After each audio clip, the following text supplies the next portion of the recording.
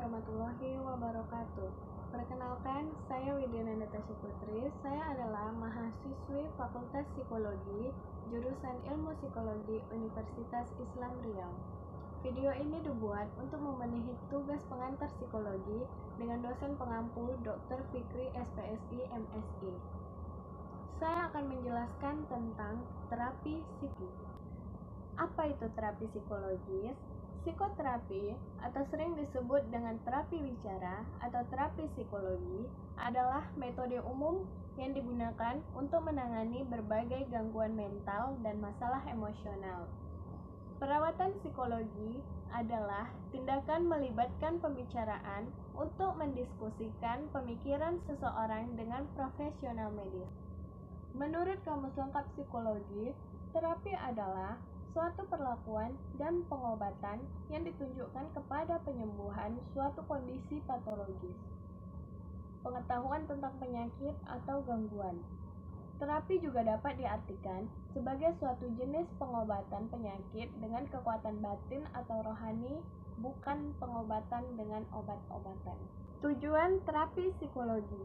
Jadi ada beberapa tujuan terapi psikologi nih di antaranya memperkuat motivasi untuk melakukan hal-hal yang benar, mengurangi emosi dengan mengekspresikan perasaan, mengubah kebiasaan, mengubah struktur kognitif, meningkatkan pengetahuan dan kapasitas untuk mengambil keputusan yang tepat, meningkatkan pengetahuan diri, meningkatkan hubungan antar individu, mengubah lingkungan sosial individu, mengubah proses somatik atau rasa sakit dan meningkatkan kesadaran tubuh seperti relaksasi, latihan fisik, dan lain-lain.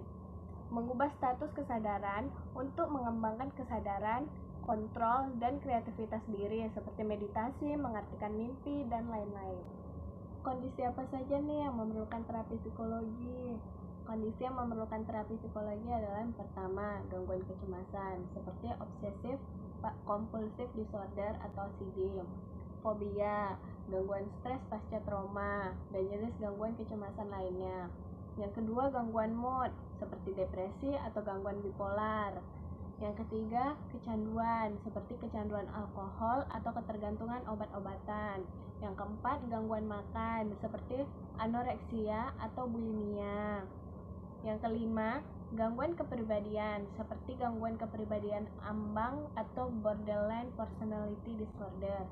Yang keenam, skizofrenia atau gangguan lain yang menyebabkan seseorang tidak bisa membedakan khayalan dan kenyataan. Ada juga nih tanda-tanda seseorang yang membutuhkan terapi psikologi. Seperti yang pertama, merasa kesedihan dan keputusasaan yang berlebihan dan berlarut-larut. Yang kedua, masalah tak kunjung selesai meskipun sudah berusaha sekuat tenaga dengan bantuan orang-orang terdekat. Yang ketiga, kesulitan berkonsentrasi dan melakukan aktivitas-aktivitas harian. Yang keempat, khawatir dan cemas berlebihan sampai tidak mampu berpikir positif. Yang kelima, tampak menunjukkan perilaku yang negatif seperti mudah marah atau bersikap agresif yang merugikan diri sendiri atau orang lain. Yang keenam, perubahan kebiasaan atau gejala tertentu seperti perubahan pola makan atau emotional eating dan tidur, berkurangnya energi atau kurangnya minat pada suatu aktivitas yang disenangi. Selanjutnya, manfaat terapi psikologi. Ternyata terapi psikologi itu memiliki manfaat loh di antaranya menyelesaikan konflik dengan pasangan atau orang lain, meredakan kecemasan atau stres akibat peristiwa dan situasi tertentu, menjalani kehidupan dengan lebih baik, memiliki kemampuan belajar untuk mengelola respon yang tidak sehat dalam menghadapi suatu masalah, memiliki mental yang kuat dan sehat dalam menghadapi masalah kesehatan fisik yang serius dan kronis, seperti kanker, tumor, dan lain-lain. Memulihkan diri dari pelecehan fisik atau seksual dan trauma akibat menyaksikan kekerasan mengatasi sulit tidur dan dapat tidur dengan lebih nyenyak, terutama jika mengalami insomnia. Itulah beberapa manfaat terapi psikologi. Sekarang jenis-jenis terapi psikologi. Ada berapa jenis nih terapi psikologi? Terapi psikologi itu ada 8 jenis, di antaranya terapi kognitif dan perilaku. Jenis terapi ini untuk mengobati berbagai gangguan mental seperti depresi, gangguan kecemasan, gangguan makan, atau gangguan yang terkait dengan trauma. Jadi kalau punya gangguan mental, terapinya itu terapi kognitif dan terapi perilaku. Yang kedua, terapi psikodinamik dan psikoanalitik. Jenis terapi ini menuntun untuk melihat lebih dalam ke alam bawah sadar. Yang ketiga, terapi interpersonal. Jenis terapi ini membantu mengevaluasi dan memahami bagaimana cara Anda menjalin hubungan dengan orang lain. Yang keempat, terapi penerimaan dan komitmen atau ACT. Pada jenis terapi ini, Anda akan dilatih untuk menyadari dan menerima perasaan dan pikiran Anda. Yang kelima, terapi perilaku dialektis. Terapi ini sejenis dengan terapi kognitif yang mengajarkan perilaku positif untuk membantu menangani stres, mengendalikan emosi, dan meningkatkan hubungan dengan orang lain. Yang keenam, psikoterapi suportif. Jenis terapi ini untuk mengidentifikasi peristiwa stres yang memengaruhi kesehatan mental serta memperkuat kemampuan untuk mengatasi stres tersebut dan berbagai situasi sulit yang akan datang. Yang ketujuh, terapi terapi keluarga bertujuan untuk memperbaiki hubungan keluarga. Yang kelapan, hipnoterapi, jenis terapi yang dilakukan dengan menggunakan hipnotis. Faktor-faktor apa saja sih yang mendukung keberhasilan terapi psikologi itu?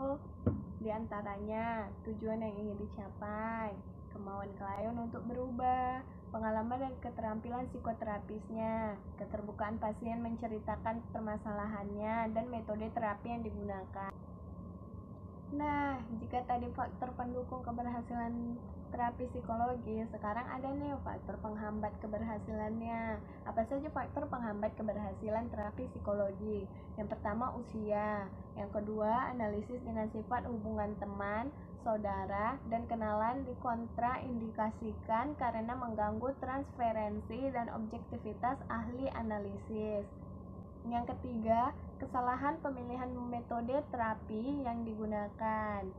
Yang keempat, psikoterapis tidak terampil. Yang kelima, rasa takut yang dimiliki klien saat terapi. Bagaimana nih cara agar mendapatkan hasil yang maksimal dari terapi psikologi? Jika ingin mendapatkan hasil yang maksimal dari terapi psikologi, bersikaplah jujur dan terbuka pada terapis. Jadilah peserta terapi yang aktif. Luangkan waktu dan jadikan sesi terapi sebagai rutinitas, karena terapi mental bisa berlangsung hingga berbulan-bulan. Jika tidak berhasil, konsultasikan jenis atau pendekatan terapi lainnya yang mungkin lebih bermanfaat. Nah, kesimpulannya, terapi psikologi adalah suatu proses formal yang melibatkan interaksi dua orang atau lebih ada penolong yang biasa disebut terapis, dan ada yang ditolong yang biasa disebut dengan klien. Tujuan interaksi antara terapis dan klien adalah perubahan atau penyembuhan. Perubahan dalam pikiran, perasaan, perilaku dari klien berdasarkan dari tindakan profesional yang dilakukan oleh terapis dengan latar belakang ilmu perilaku dan teknik-teknik yang dikembangkan lebih lanjut. Sekian penjelasan dari saya. Jika ada kesalahan ataupun kekurangan, saya mohon maaf. Assalamualaikum warahmatullahi wabarakatuh.